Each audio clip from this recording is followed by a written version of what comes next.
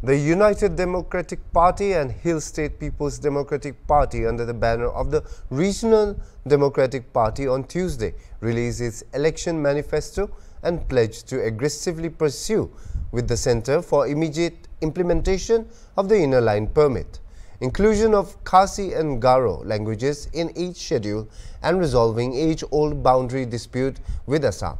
The 25-point manifesto released by UDP chief Metbah Lyngdoh also assured to strengthen the autonomous district councils and bat for a meaningful peace talks with the proscribed